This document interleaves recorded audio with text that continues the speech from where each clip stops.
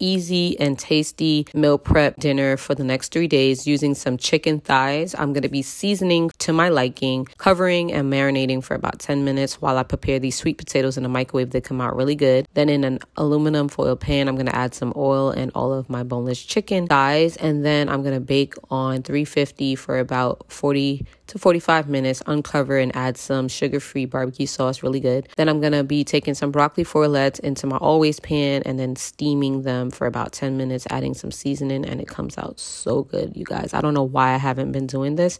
Then my chicken is all done, came out very tasty and flavorful. Then to my meal prep container, I'm gonna add everything and put some cinnamon on top of that sweet potato, and I'm all done.